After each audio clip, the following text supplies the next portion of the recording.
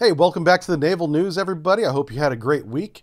This video is sponsored by Private Internet Access. Thank you to them for sponsoring today's video. So a lot of news organizations have come out and said that the AUKUS agreement that's going to be updated on Monday uh, is actually including four or five American Virginia-class submarines going to Australia and not the two Astutes that were originally uh, leaked. So there is a big difference between the modern Block 4, Block 5 Virginia class and the Astute. One, it's a more modern design, more recent design. This includes system upgrades on the software and the hardware side that make it, again, more recent, not necessarily more capable, but certainly newer equipment, hardware, and software. Uh, the design is for littoral operations in the Virginia class, where the Astute is not specifically designed for that. I'm not saying it can't do that, but Virginia class submarines from the drawing board had littoral shallow water operations in mind as well as deep blue water operations. Uh, they, the Virginia does have an improved ESM suite, so that's great for intelligence gathering and um, peacetime missions like that. The public test depth for the Virginia class is 1,600 feet, and knowing how test depth is calculated, that means there's a potential in deep water that the Virginia class could actually outdive older generations lightweight torpedoes where they wouldn't even be able to get down to them. Again, that would require a deep water environment. And most importantly to me, and I'm kind of biased here, the acoustic superiority package on the Virginia class is outstanding. It's been upgraded since Block 3, and now that we're on Block 5, it is so good. But it's also very sensitive, so we can't really talk about that. And then the big thing is it all runs on Windows 11, which makes everybody really happy. So, good job to Australia getting the uh, Virginia class, assuming that that's the case. Uh, the public announcement will be on Monday, just in three days from this recording. I will be live streaming that uh, event from San Diego. So if you want to see that in my live reaction to it, uh, definitely click the bell icon on the YouTube so you get the notification for when I go live on this channel. I don't live stream often on this channel, uh, but that's going to be something that we're going to do and find out together in real time what the actual deal is. Is it 5 Virginia? Is it 2 Astute? Is it a combination of the two? Or something completely different and everybody's wrong? Yeah. All right, now a word from our sponsor. Thank you to Private Internet Access for sponsoring this video. Private Internet Access is a low-cost, high-speed, virtual private network service provider. When you're connected to the internet on public Wi-Fi or even at home, your data is at risk of being stolen. Hackers that are connected to the same Wi-Fi can view your keystrokes, passwords, browsing, and personal data. Private Internet Access helps protect you by hiding your IP address and encrypting your data through their world-class server infrastructure. Using the internet without PIA is like using a changing room with no door. Everyone can see your shorts and will leave disappointed. I use private internet access every time I travel. It ensures that my connection is private and encrypts peer-to-peer -peer file sharing. PIA has a no logs policy. This has been proven multiple times in court by a third party independent auditor.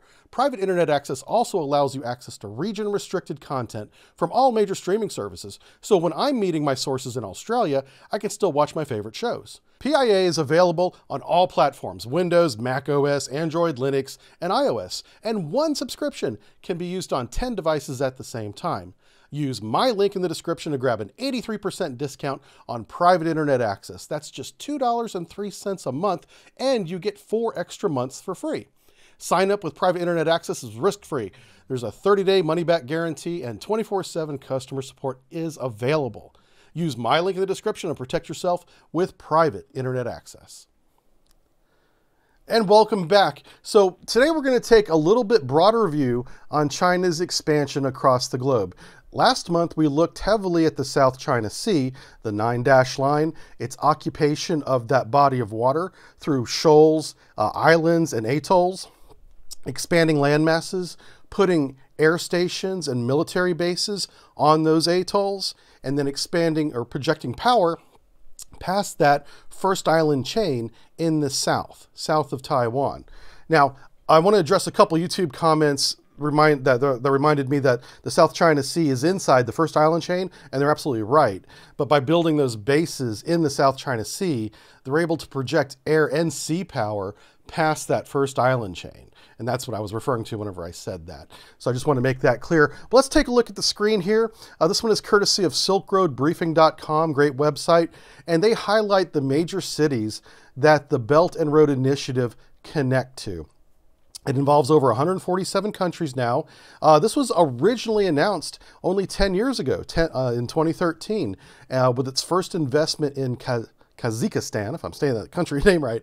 But a lot of people argue that the Belt and Road actually began back in the 1990s with internal infrastructure improvements in China. So there's an argument to be made for, for that as well. This is all Chinese funded infrastructure product, uh, projects in foreign countries. They use Chinese workers that are shipped to these other countries that do the job. They get paid in Chinese money and then they bring that money home again. There's not a lot of benefit to these countries hosting these projects other than they're getting a major port, which they see as valuable. And it can be valuable, uh, you know, if they can do things like get tax revenue. And we'll cover some of that later on in this uh, story.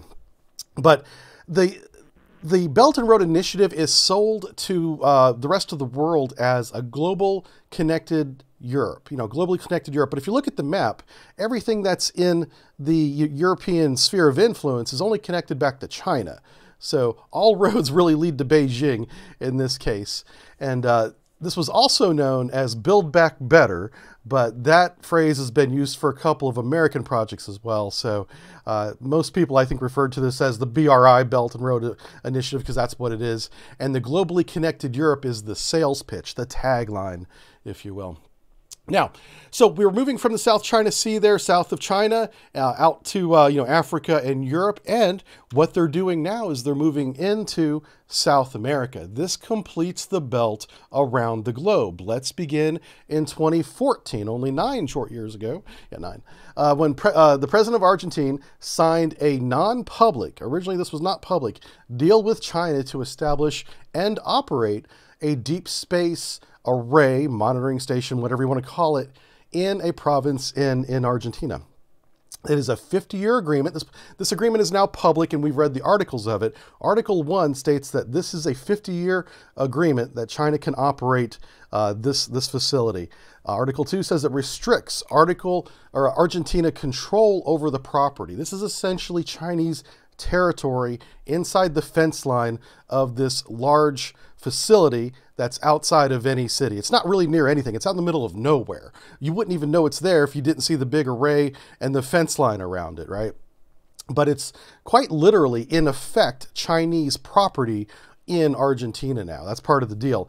Uh, Article 3 covered tax exemptions uh, and a simplified movement in and out of the country for Chinese citizens that work at this facility. So they don't have to go through the normal uh, duty and um, you know import taxes and things like that for things that they bring in and out of the country.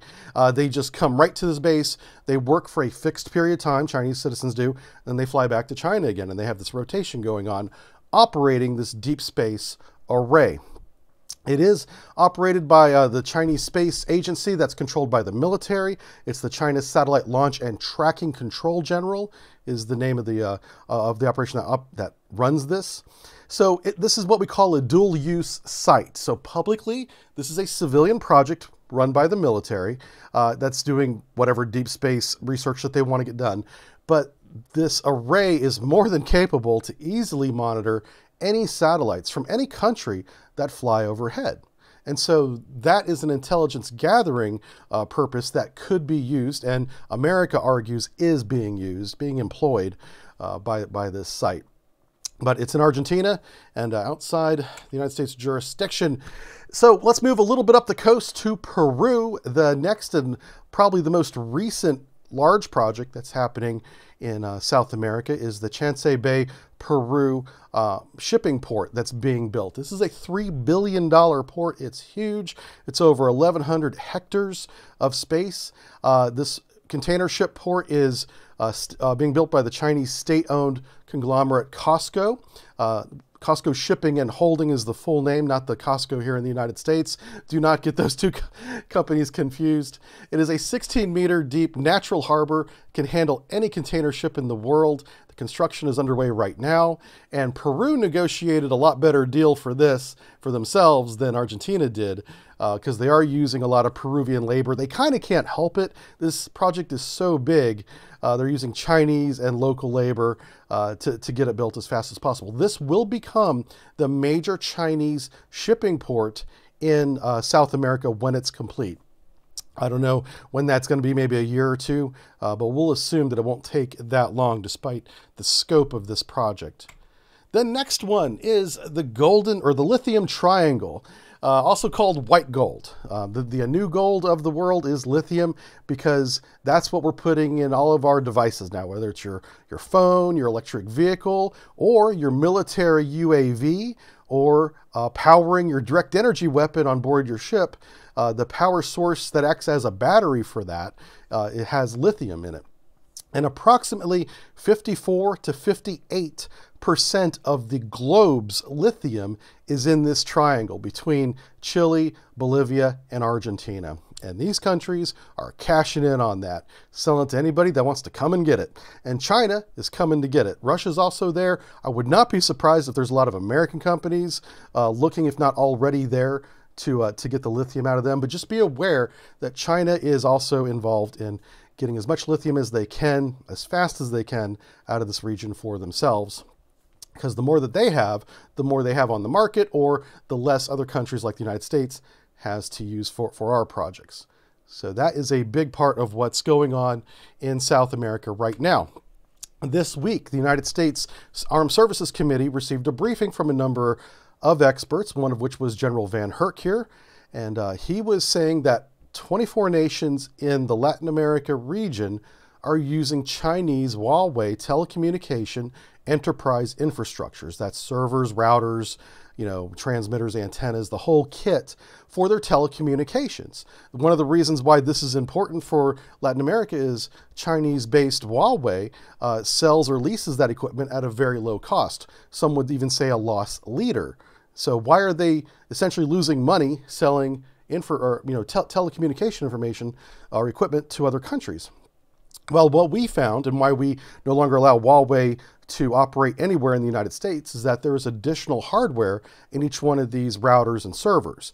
It is believed, allegedly, that that additional hardware is actually a backdoor for people in China, operatives in China, military in China, to log in privately, secretly, without detection into each one of these servers, routers, or whatever infra infrastructure there is, and um, operate the router. Essentially, they could shut it down if they wanted to.